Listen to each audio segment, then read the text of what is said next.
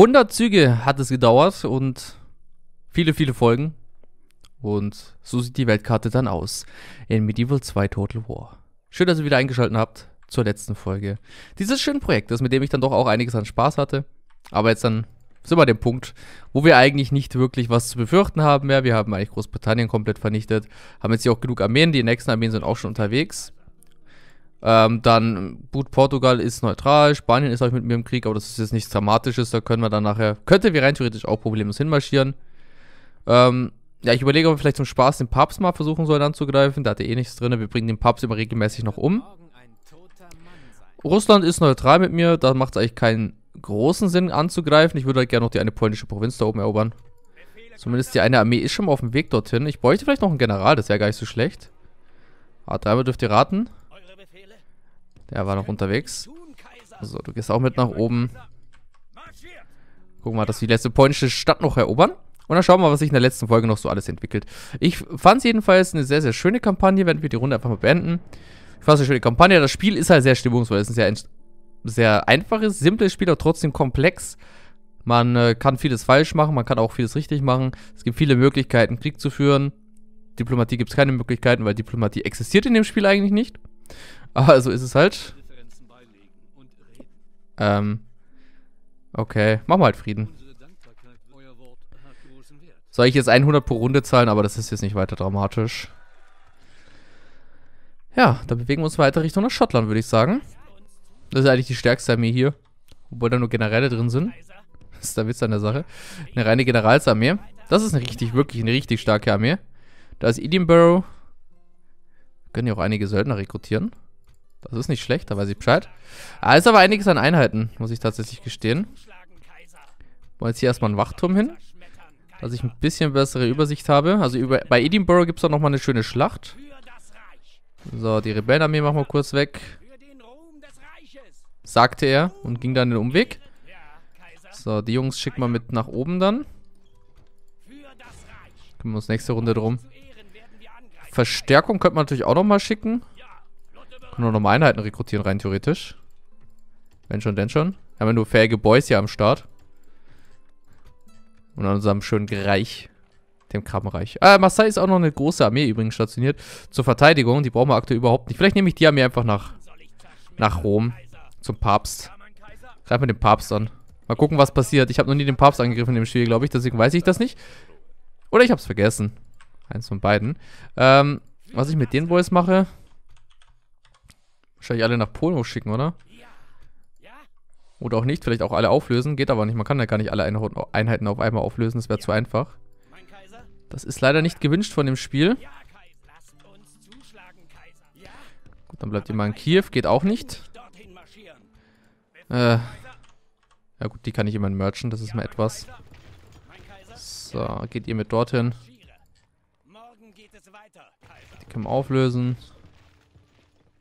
Die tun wir auch mit auflösen. Bringt mir halt alles wieder ein bisschen mehr Geld. Genauso wie sowas, die brauchen wir alles gar nicht. Die sind alle so kaputt gekämpft, die haben keine Einheiten mehr. Auch wenn die gute Erfahrungswerte haben, dadurch, dass sie schon so viele Schlachten auch geschlagen haben für uns. Da schickt man dann lieber ein paar Einheiten mit zur Verstärkung. Dorthin. Da könnte man noch Söldner rekrutieren, aber braucht man natürlich nicht in der Situation. Die paar Einheiten, die ich hier noch habe, die sind einfach zur Verteidigung. Zum Beispiel in Sofia sollte ich vielleicht ein paar Einheiten dazu rekrutieren, falls Byzanz auf dumme Ideen kommt. So, der bewegt sich dorthin. Da habe ich noch einen Inquisitor. Der hat wieder irgendwelche dumme Sachen vor, glaube ich. Den müssen wir uns mal kümmern. Oh, der ist richtig stark. Aber richtig stark. Wo ist der Papst? Warum hat er... Warum ist die Wahrscheinlichkeit, einen Diplomaten zu töten, geringer, als wenn ich einen Papst töten will? Muss mir auch mal irgendwann einer erklären. So. Können die Runde wieder beenden? Ah, ganz vergessen, den General zu bewegen. Hm. Und die Spanier, die wollen bestimmt auch Frieden schließen. Ne, wollen sie nicht. Sizilien, die macht einen Knicks vor mir. So mag ich das. Immer schön auf die Knie.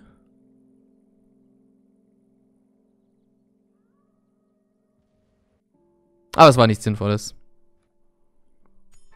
Leider. Schmerzschmiede-Gilde. Zeitmaschine wurde erschaffen. Ja, wunderbar. Dann können wir in der Zeit zurückreisen und Hitler töten. Achso, falsches Spiel. Oh, sorry. Sorry. So, jetzt kann man natürlich ein paar Einheiten dazu rekrutieren. Damit ich meinen Ruf als Söldneranführer auch gerecht bleibe. Kommt mir vor wie so eine mongolische Horde aktuell. Mit ganzen Einheiten, die ich umher schiebe.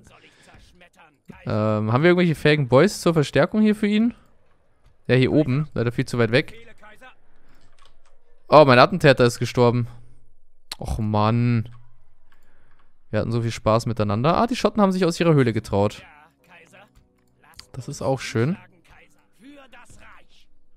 Das heißt, wir machen jetzt folgendes. Erstmal Söldner rekrutieren. Und dann erstmal die weg hier schlagen. So. Jetzt suchen wir wahrscheinlich mal gegen die eine Schlacht. Die wollen allerdings nicht kämpfen. So, du kommst nicht mehr weiter. Ah, die Schlacht hier wird ein bisschen eng. Aber wir machen erstmal die Armee komplett weg. Auch hier ein einfacher Sieg. Einfach, weil wir zu viel... zu viele gute Einheiten haben. Und er war wahrscheinlich ein Kommando auch noch besser als sein Gegenüber. Die zwei bleiben zusammen. So. Nächste Runde ist dann Edinburgh selber dran. Das andere, was wir jetzt machen, ist, wir nutzen die Flotte. Weil Briten gibt es ja nicht mehr. Die Briten, die sind ja Geschichte. Den können wir jetzt hier ganz entspannt die Armee einfach nach Dublin direkt rüber schicken. Jetzt habe ich hier wieder Trebuchets. Ey, ihr wollt mich doch verarschen. Hört bitte auf, Einheiten zu rekrutieren. Okay, man muss Paris nicht mit Trebuchets verteidigen. Ich meine, ich finde es ja schön, wenn ihr das versucht und wenn ihr glaubt, das bringt was. Aber ich kann euch sagen, es bringt nichts. So, die kommt dahin zur Verstärkung, damit mir keiner die Flotte wegschnallt. Also noch mehr Schiffe. Okay, so euch habe ich dieses Mal nicht vergessen. Da ist Riga. Uh, da ist eine starke Armee. Oh, ich habe ihn aus Versehen umgebracht. Ich habe ganz vergessen, dass ich den Auftrag gegeben hatte. Aber ist jedenfalls tot. das Ziel erreicht. Mission erfolgreich. Hat er fein gemacht, mein Freund. Dafür kriegst du eine nachher Gehaltserhöhung. Meine, ich zahle ihm zwar nichts und etwas mehr von nichts ist trotzdem nichts, aber egal. Er kriegt trotzdem eine Gehaltserhöhung. So, den Ketzer da oben umbringen. Lauter Bauverbesserungen. So. Söldner, jawohl. Die nehmen wir natürlich immer gerne mit. Mal einen Wachturm bauen. Da wohl keinerlei Einheiten. Bin ich zufällig ein Trebuchet, oder? Na, jetzt habe ich keine. Weißt du, brauche ich einmal ein Trebuchet, da habe ich wieder keine. Das kannst du echt keinem erzählen. So, die Schotten haben schon mal eine Niederlage einstecken müssen. Eine Armee dorthin. Kann auch noch Einheiten rekrutieren, ey. Die haben hier Söldner oben im Norden. Das Land der Söldner. So. Alter, da hat er Angst, oder was? Dann machen wir dasselbe jetzt auch nochmal mit der Armee. Klarer Sieg. Lösegeld abgelehnt. So, und dann belagern wir natürlich diese wunderschöne Stadt noch. Machen die Armee noch weg, dass sie nicht zur Verstärkung kommen können. Und dann sollte das hier eigentlich gar kein Problem darstellen. So. Fortschrittlichste Seite sind natürlich wir. Wie kann man da was anderes anzweifeln oder andenken? So. Dorthin. Was ist mit meinen anderen Boys? Ihr seid zu langsam. Bis ihr da seid, vergehen 100 Jahre. Überlege gerade, ob wir auf dem Weg dorthin einfach äh, Russland angreifen sollen. Ich meine, die können eh nichts dagegen machen wahrscheinlich. Kiew ist ja eigentlich russisches Gebiet. Jetzt aktuell, früher war es, also jetzt hier im Spiel meine ich. Ist, glaube ich, Kiew russisches Gebiet oder auch nicht. Ich bin mir gerade gar nicht sicher, ob im Medieval 2 Total War, ob das, oder ob das eine Rebellensiedlung ist. Kann auch sein. Und es gab einen erfolgreichen Dschihad. Herzlichen Glückwunsch. Konstantinopel wurde offiziell in mongolische Herrschaft gebracht. Echt jetzt? Die Mongolen haben den Dschihad ausgeführt. Warum mag mich der Papst jetzt nicht? Die Seite begriff einen Angriff gegen die Papststaaten zu starten, was eine sofortige Exkommunikation zur Folge haben wird. Wird das übrige Christentum euch ebenfalls den Krieg erklären. Dramatisch. Sehr, sehr dramatisch. Hab wirklich Angst. Meines Wissens nach bin ich mit allen im Krieg außer Portugal. Und ob Portugal mich wirklich groß juckt, weiß ich aktuell nicht. Vor allem können wir jetzt hier einfach wieder neue Einheiten rekrutieren. 1, 2, 3. Das andere, was ich nachher mache, ist einfach meine Armeen oben im Norden entlassen. Weil die mir eigentlich scheißegal sind. Weiß, das klingt jetzt hart, aber Dürft ihr nicht falsch verstehen. Die Männer sind mir natürlich nicht egal. Die werden ja einfach nur... Die werden einfach nur in den Ruhestand geschickt und werden dann hier unten neu rekrutiert. Ja, das ist... Versteht, was ich meine, oder? Gut. So, brauchen hier mehr Truppe noch. Schicken wir natürlich ihn gleich komplett mit hin, mit all seinen fähigen Jungs. Außer denen da, die kommen bitte weg. So, könnt ihr alle da drauf? Jawohl. Dann einmal hier drüben bitte landen. Und dann wird Dublin auch noch fallen nächste Runde. So, das können wir jetzt angreifen. Durch ein klarer Sieg. Oh, das ist viel Geld. Und da ist ja noch eine Stadt. Hey, hey, Die schotten auch noch aber raus hier mit Siedlungen. Bringt dir nur leider nichts. So, den machen wir auch noch weg. Oh, die haben mal was angenommen. Die schicken wir noch mit dazu. Ja, und euch? Tun wir erstmal wieder alle entlassen. Da gibt es ja leider keine Quick-Taste für, ne? Also das einzige Problem, weil ich aktuell ein bisschen habe mit dem Spiel, dass es keine Quick-Taste zum Auflösen von Einheiten gibt. Ähm, die tun wir weg. Die anderen behalten wir. Ja, damit ist gleich ganz Britannien unter unserer Herrschaft. Das leider erst in zwei Runden. Den Papst greifen wir natürlich auch noch an. Ja, das ist alles relativ entspannt. Ähm, ja, tun wir mal Riga belagern, mal gucken, was passiert. Ah, noch eine Armee mit dabei. So, ihr marschiert jetzt einfach mal mit bei Russland vorbei. Ah, die wollen unsere Nachhut angreifen. Natürlich auch nicht so dumm. So, was können wir denn hier so rekrutieren? Wir im ersten Blick nicht viel, auf den zweiten Blick schon. Wie schaut es in Kiew aus? Wobei ich glaube nicht nicht, dass hier gleich eine russische Armee um die Ecke kommen würde. Ach so, hier ist es nicht automatisch. Auch interessant. Ah, zwei von denen rekrutieren. Spanien hat mit uns nicht äh, einen Waffenstillstand geschlossen. Ja, ja euch ne, euer nehme ich nicht an. die Schotten. Die denken so, ja, cool, äh, ja, jeder schließt mit denen Frieden, äh, wir dann bestimmt auch, oder? Wir sind doch dann Best Buddies, oder? Ja, genau.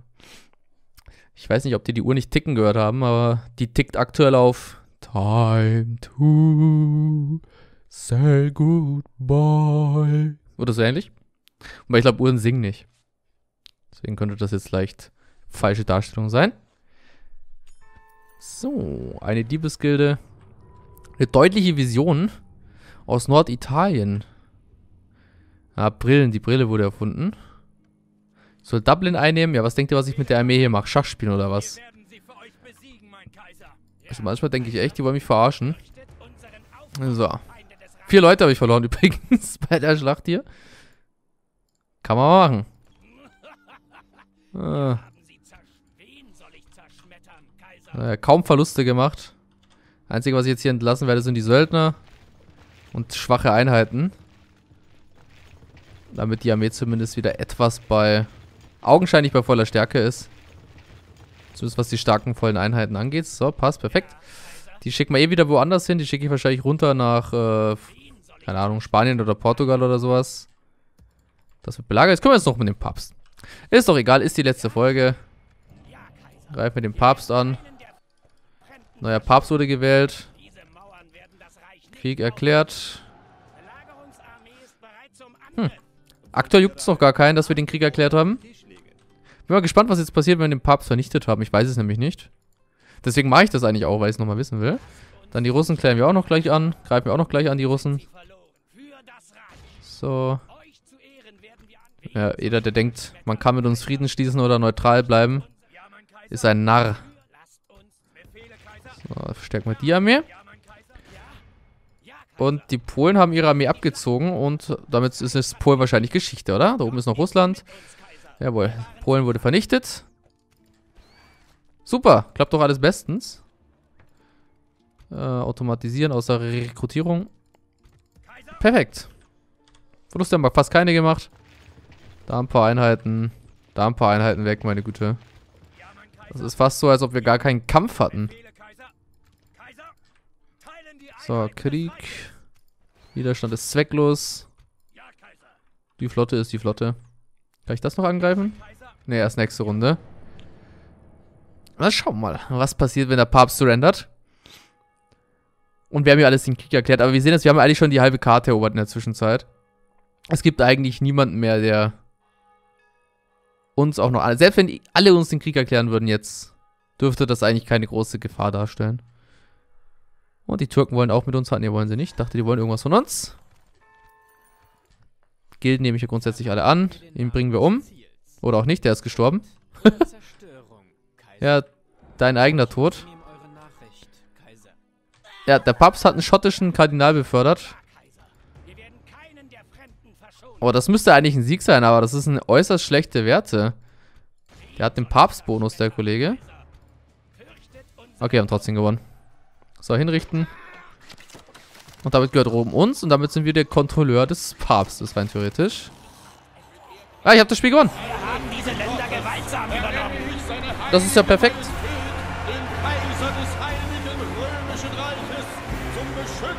Das bin ich. Ja, schaut euch an. Da, da, da. da gab es schon Feuerwerk, echt jetzt?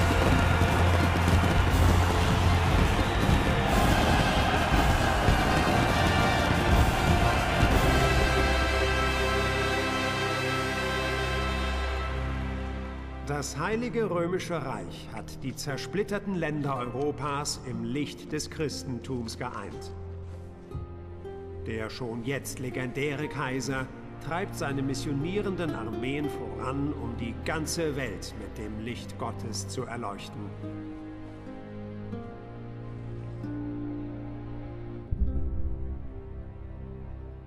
Hübsch. Hübsch. Nein, wirklich hübsch. Ähm, ja, dann finden wir jetzt hier einfach abschließende Worte tatsächlich. Wenn wir uns das in Antwort nochmal kurz anschauen. Nee. Also, wir spielen nicht weiter. Wir nutzen das jetzt hier tatsächlich, gehen zum Hauptmenü zurück und lassen das Ganze mal ein bisschen Revue passieren. Medieval 2 Total War ist ja in der Zwischenzeit wirklich, es ist 2008 erschienen, glaube ich, wenn ich mich komplett täusche. 2006, November 2006 war es. Ist es erschienen, ist jetzt in der Zwischenzeit fast 14, bald 15 Jahre alt. Also, äh, das ist ein 15 Jahre altes Spiel dann quasi, ab nächstes Jahr. Und das ist schon etwas, muss man auch wirklich mal irgendwo auch Anerkennung zollen, dass dieses Spiel auch immer noch heute so gut funktioniert, dass es so gut spielbar ist. Die Musik ist einfach unglaublich stimmungsvoll. Die Spielmechaniken sind bis heute unerreicht in dem Genre, in dem Total War Genre an sich. Die Mechaniken sind so schön gehalten, auch mit den Siedlungen, mit Zufriedenheit, Unzufriedenheit, Einnahmen, Ausgaben, Rebellenarmeen. Das ist alles so schön. Das Einzige, was ich mir bis heute wünschen würde, ist, dass die Diplomatie ein bisschen besser gewesen wäre. Jetzt mal davon abgesehen, Medieval 2 Total War, jeder, der das nicht hat, und Total War Fan ist, ist auf alle Fälle ein Pflichtspiel. Man kann es auch heute noch super spielen, das läuft problemlos auf allen PCs. Ähm, Im Gegensatz zum Beispiel zu Rome, 2, äh, zu Rome Total War. Das äh, lief ja ganz anders. Rome Total War ist ja bis heute auf neuen PCs fast unspielbar, weil die Grafikkarten damit nicht klarkommen. Das ist ein bisschen schade, außer die Kampagnenkarte natürlich, aber Schlachten kann man fast nicht spielen, so ist ich nicht. Ähm, aber Medieval 2 Total War funktioniert problemlos. Es gibt auch unzählige Mods für Medieval 2 Total War. Es gibt eine äh, Herr der Ringe-Mod, es gibt eine Warhammer-Mod, es gibt äh, wirklich unzählige Modifikationen für Medieval 2 Total War, was komplett modbar ist in der Zwischenzeit. Man kann alles modden, Karte, Einheiten, Sounds. Also da ist alles möglich, da gibt es ja alle Mod-Tools in der Zwischenzeit. Und äh, ein Spiel, was mir auch sehr viel Spaß immer bereitet hat. Ich habe auch schon hunderte Stunden damit verbracht. Und ja, habe mich gefreut, dass ihr dabei wart bei dieser Kampagne. Und hoffe, ich sehe euch auch beim nächsten Projekt wieder. Vielleicht schaffen wir am Ende nochmal, naja, 50 Likes. Wäre natürlich schön, weil es die wenigsten jetzt hier hören werden, weil ich natürlich am Ende des Videos bin. Die meisten haben wahrscheinlich schon ausgeschalten. Ihr könnt mal in die Kommentare schreiben, wenn ihr euch das hier gerade noch anhört, was ich hier zu sagen habe. Dann sehe ich mal quasi die alleraktivsten und allertreuesten von euch. Und dann sehen wir uns beim nächsten Mal wieder. Macht's gut. Danke fürs Zuschauen. Tschüss.